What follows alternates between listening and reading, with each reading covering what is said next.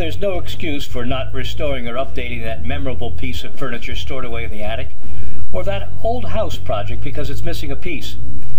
There's no need to search antique stores or salvage yards for that missing hardware or applique either.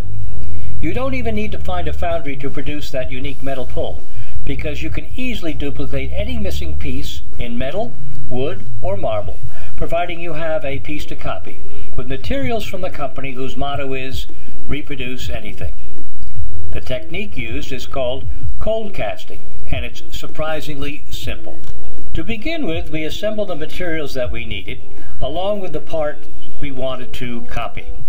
This was an engraved antique brass knob from a set of doors that had one missing, as well as a bureau pole from an 1870 maple veneer bureau. The materials included were aqua clear resin, a water clear polyurethane resin, Castise, an opaque ivory colored resin, and Mold-Rite 25, a two-part silicone rubber, all three products bought from EnvironMolds. We also used EnvironMolds bronze, brass, wood, and marble casting media. In addition, we required a gram scale to weigh out the silicone. We also needed a few 16 ounce and 32 ounce cups, some mixing sticks, and a glue gun. Before we continue, we must talk about eliminating air bubbles.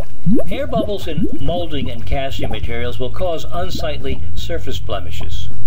Professional mold makers use vacuum chambers and pressure pots to drive out the air. However, satisfactory results can be achieved through the vibrating of your materials as they set. And you can create a simple vibrating table by attaching a vibrating source to the table leg. Here we fixed an electric sander to the leg. And when the sander is turned on, the vibrations are strong enough to lower the coefficient of friction in the various casting and mold making liquids to allow any trapped air to rise to the surface and dissipate. It's important to use such a table in making your hardware duplicates. Small parts tend to trap more air than larger ones, and this is especially true when you cast in clear resin. If you don't have a system to reduce trapped air, you will have unsightly air bubbles, making what you hoped would be water clear very cloudy. To begin, we used a glue gun to attach the original knob to the bottom of a container. There should be at least an inch distance between the outside of the container and the closest part of the knob. Now we are ready to mix the silicone rubber to create the rubber mold. Mold-Rite 25 is mixed at a ratio of 10 parts of A to one part of B, and for this we used a gram scale. If the silicone is not accurately measured, the material will not set. We estimated the amount of part A needed to cover the knob to a depth of a half inch higher than the highest part of the knob. This came out to be about 10 grams of part A. We then put a clean cup on the scale and poured out one-tenth of the amount we poured out for part A. In this case, it was one gram of part B we can't forget to account for the weight of the container when we measure either. To account for the weight of the containers, we place the empty container on the scale and press the tare weight button. This adjusts for the weight of the container and the scale now reads zero. If there is no tare weight button, we would have to weigh the container and then subtract it from the total weight. When the Mold-Rite 25 is mixed to an even color without marbling, we are ready to pour it into the mold. To further eliminate the possibility of air bubbles, EnvironMolds advised us to pour an exaggerated height in a very narrow stream by squeezing the cup to make a narrow spout. We also poured in one spot allowing the Mold-Rite 25 to envelop the knob.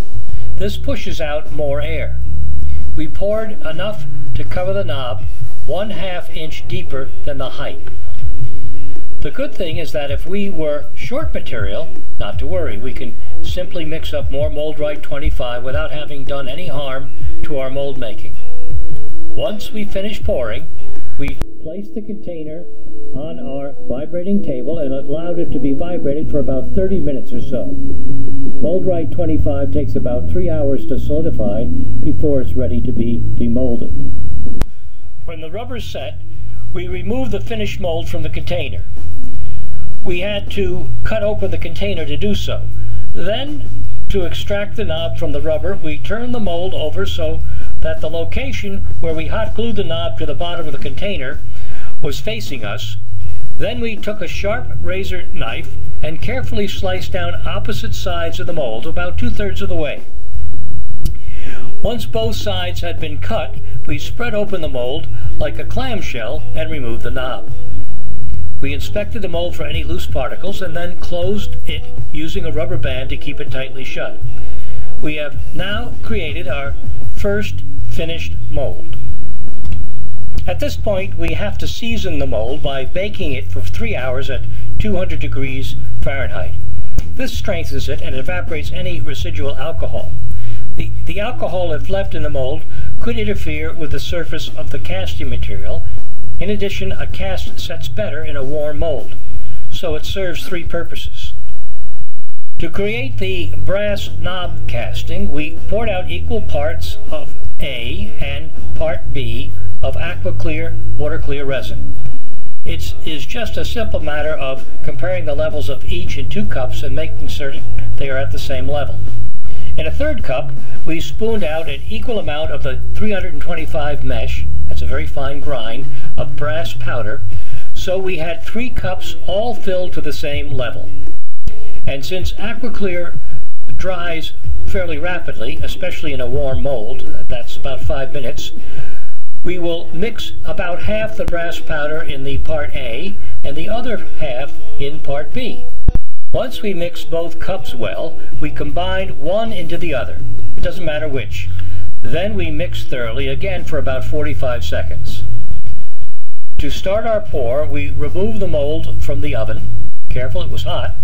And carefully poured in the brass mixture until it was filled to the top. The casting was placed on the vibrating table to be vibrated, as we did when we first made our mold.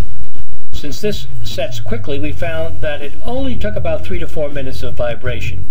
And once it was set to the touch, we waited another 30 minutes before attempting to demold. Demolding was fairly straightforward. We removed the rubber band and spread the mold apart to pop out our finished casting. It was almost perfect in spite of a bit of flashing. That was easy to clean up using our X-Acto knife. We also cleaned up any evidence of seam lines this way. With a little elbow grease and some triple O steel wool, we polished the knob to remove the resin and expose the brass. We could have also used a buffing wheel for even shinier results. The finished product was an extraordinary copy of the original brass knob. It's very difficult to distinguish it from the original, with one exception. The original had a darker patina from age. A little time, oxidation will remove any such differences, but in the meantime, you could take a little black shoe polish to achieve the same results. The results were so spectacular that we decided to replace all our kitchen cabinet hardware with these 19th century brass reproductions. We were able to create 18 more brass knobs from the same mold with the same detail.